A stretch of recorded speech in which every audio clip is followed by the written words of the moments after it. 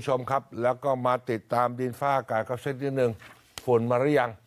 กทมเช้าวันนี้นานๆ นานๆ จะเขียวเลยนะค่ะเมื่อช่วงเช้าที่ผ่านมาเขียวเลย แปลว่ากทมฝุ่นไม่มีปัญหา เดี๋ยวรอดูทางภูมิภาคโดยเฉพาะทางภาคเหนือ แต่มาดูเรื่องร้อนก่อน ร้อนปรากฏว่าลำปางเมื่อวานนี้ ร้อนตับแลบครับท่านผู้ชม ที่อำเภอเถินนะคะ 40.3 องศาเซลเซียสค่ะ ส่วนอำเภอเมืองที่จังหวัดลำพูน 39.8 องศาค่ะ อันนี้ที่ลำปาง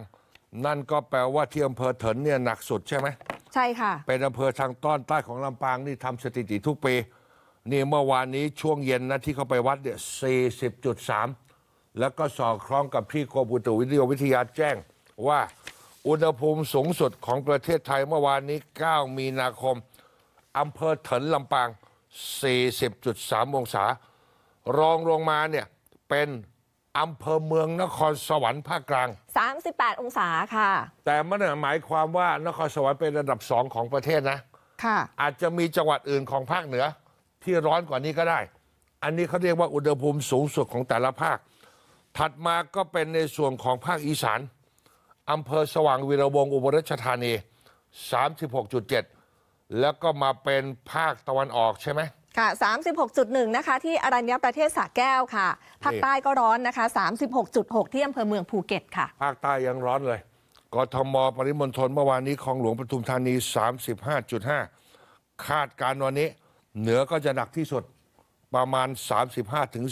40 ถัดมาก็จะเป็นภาคกลาง 35ถึง38 ย้อนกลับไปที่ลำปาง โดยเฉพาะอำเภอเถิน ซึ่งปรากฏว่าอยู่ห่างจากตัวเมืองลำปางไปทางใต้ประมาณ 80 กิโลเมตร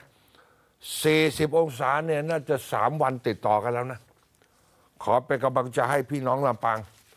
ขณะที่มีคำเตือนของกรมอุตุนิยมวิทยาเป็นเตือนพายุฤดูร้อน ประเทศไทยตอนบนฉบับที่ 8 มวลอากาศเย็นปกคลุมด้านตะวันออกของภาคตะวันออกเฉียงเหนือและทะเลจีนใต้ค่ะ ประกอบกับมีลมใต้และลมตะวันออกเฉียงใต้ พัดนำความชื้นจากอ่าวไทยและทะเลจีนใต้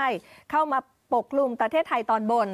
ส่งผลให้ภาคอีสานตอนล่างยังคงมีพายุฤดูร้อนเกิดขึ้นบางพื้นที่นะคะอ้าวนี่แหละครับท่านผู้ชมระมัดระวังด้วยเรื่องอุณหภูมิความ